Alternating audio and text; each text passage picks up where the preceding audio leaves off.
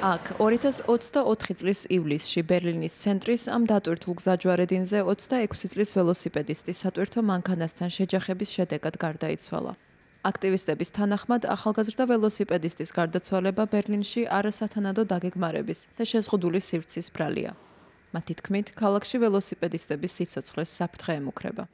People ადამიანები, რომლებიც ბერლინში ველოსიპედებით გადაადგილდებიან, ხშირად სამკვდრო სასიცოცხლო საფრთხის ქვეშ დგანან. მთავრობა ამჟამად მათ დაცვას ვერ ახერხებს.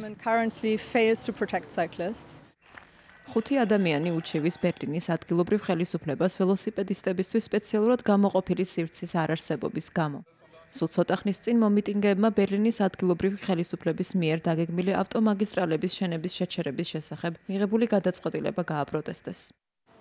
ადგილობრივმა ხელისუფლებამ ევრონიუსთან საუბარში განაცხადა, რომ არ გაუქმებენ სუპერმაგისტრალების შენებას და რომ პროცესი უბრალოდ გადავადებულია, რადგან დაგეგმისთვის მეტი დრო სჭირდებათ.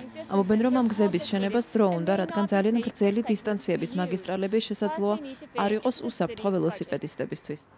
ველოსიპედისტების არასამთავრობო ორგანიზაციის თანახმად 2023 წელს გერმანიაში 446 ველოსიპედისტი გარდაიცვალა. ექსპერტების თქმით, ეროვნული მთავრობა იღებს საგზაო წესების შესახებ ისეთ გადაწყვეტილებებს, რაც ხელს უშლის ქალაქებს ადგილობრივ დონეზე გადადგან გონივრული ნაბიჯები დაგეგმარების კუთხით.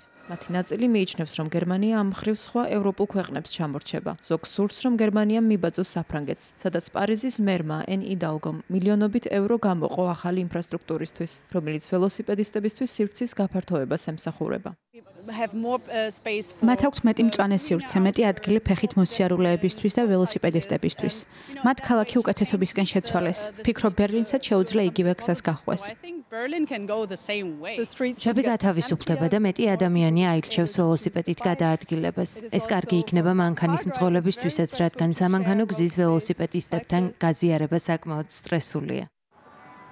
გერმანიის მასშტაბით კიდევ არაერთი საპროტესტო აქცია დაგეგმილი, სადაც დემონსტრანტები არასრულწლოვანი ველოსიპედისტებისთვის უსაფრთხოების ზომების გაუმჯობესებას მოითხოვენ.